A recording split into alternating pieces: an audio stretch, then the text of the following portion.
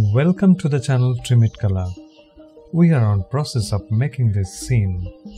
In the previous videos you have seen how to model this hut, the tree, how to unwrap it, how to sculpt it in ZBrush and also we have textured it in Substance Painter. And in this video I will show you how to render all those maps we have extracted from Substance Painter inside Maya by using Arnold. So let's get started. Here you can see we have extracted all these maps from Substance Painter like color map, metallic map, roughness map and also you can see I have separated all the height maps inside this folder so that I can find out the maps very easily. Now let's jump to Maya. You can remember I was working with this scene and this is the tree model. Rest of the models I have kept inside the layer and I have hidden it. So I'll start doing the shading with this tree. So let's go to Hypershade.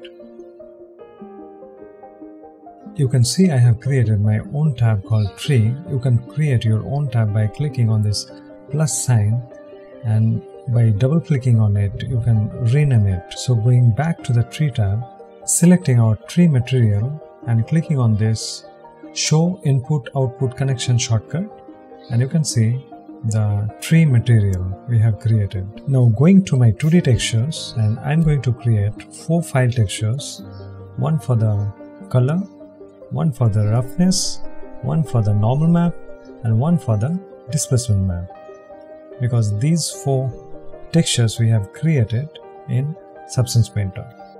So I'll go to the attribute editor and I will rename each of these files. So this will be tree displacement map. This will be tree color map. This will be tree roughness and this will be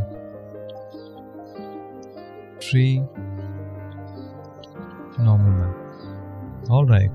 At the beginning, I'll start working with displacement map. When I'm quite satisfied with the result, I'll move on to the next three maps. Selecting the material and going to the attribute editor. And in the attribute editor, you cannot find the displacement property. So I'm going to this node. This is called the shading node.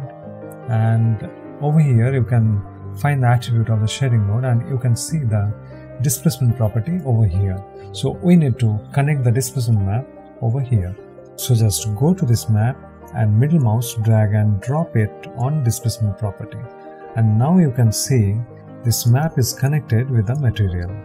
And this is the displacement node automatically created. Now selecting this file texture and browsing the displacement map. So this is the displacement map. Just open it. Over here a few things to do. Make sure the filter type is off and this image is an exa file so color space should be raw. Now let's render it once.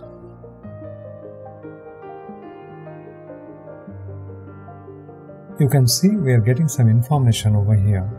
But before doing anything, let's disconnect this displacement map from the shader. So I'm just deleting it and render it once again. And in rendering you can see I already have taken uh, HDR image. Alright, just zoom in a little bit. And you can see now clearly that we are not getting displacement information over here. So I'll keep the image over here and once again I will connect the displacement map with the material. Select the region and let's render it once again. Alright, you can see we are getting displacement information and one thing you understood because of the displacement map we are getting the displacement information. So the job of displacement map is this but when I'm toggling it you can see the displacement distortion is coming out of the surface. It should not happen right? So we need to fix it. Selecting the displacement node and going to its property and clicking on Arnold and can you see one option called auto bump so I'm just clicking it off and let's check in rendering what's happening and you can see I'm losing all the displacement information but the surface is coming out. So whatever information we're getting from the displacement map it was just a fake auto bump from the displacement map. So now let's check how to get true displacement on this geometry. So the object is selected and I'm going to its shape node. This is the transform node. And you can see this is shape is written. So this is the shape node. I'm going to the Arnold option let's go to the subdivisions. Making the type from none to catclark and iteration. I'm making it maybe 2 for now. And let's render if we are getting displacement information. And you can see we are getting displacement information over here. So this iteration actually is subdividing the geometry. And through that we are getting the true displacement. Suppose the iteration value is 3 then actually you are subdividing the geometry 3 times. So automatically you will get better result. In ZBrush you can remember we have subdivided the geometry so many times. So over here I am making the value 4 and let's render. This time the result is quite good. Can you see? We are getting much more displacement information in this. And you also can see how the geometry is deformed and coming out of the surface. In normal map, you cannot get this kind of displacement and that is the basic difference between normal map and displacement map. Normal map is just an illusion but displacement map we are getting true displacement. This value can be more and the result can be a little better but this is just for the demonstration. I'm making it 4 only and not increasing it because it will take the rendering time if I increase it.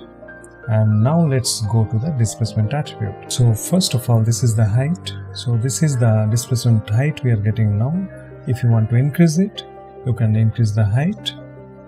And this is the bounds padding. Sometimes at the edge you can get cut mark flat cut mark. And just to avoid that bounds padding can be 1. In this case, it is not distorting anything, but still I'm making it 1 to be in safer side. And that's all in the setting in the shape node. So let's render it once again.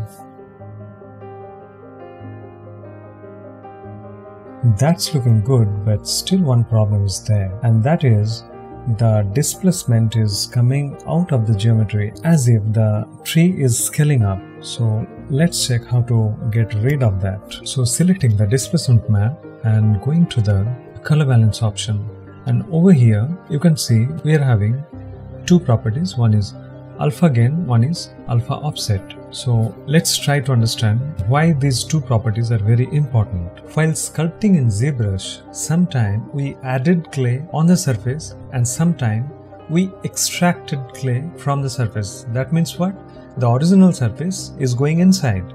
And when adding clay the original surface is coming out.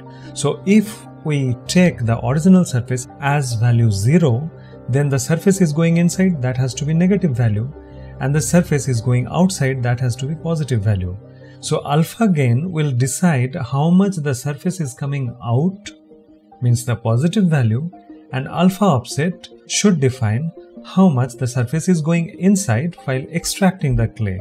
So it has to be a negative value. In my opinion, alpha offset can be half of alpha gain and this can be a very good combination. Now once again let's render the scene. Alright, this is looking fine. Now let's check. And can you see? The problem has gone. And the displacement we are getting just above the surface. So there is no scaling now. It is absolutely fine. I'm quite satisfied with the result. Now going back to the displacement. And if you can remember i clicked off the auto bump i'm clicking it on and let's render it once again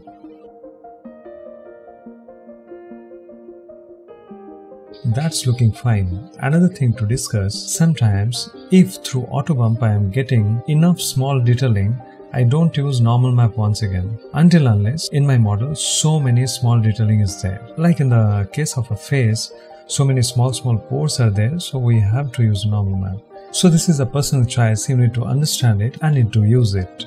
Alright, so this was the job of the displacement map. Now I am coming to the color map. So this is my color map and once again I am browsing my file texture.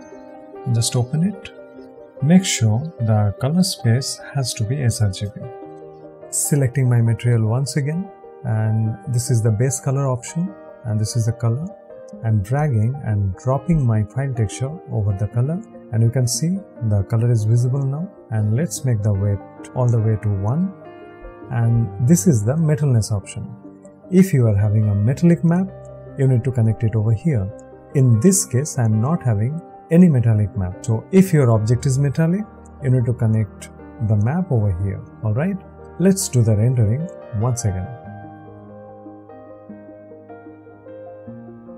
Alright, now you can see I'm getting the color of the tree.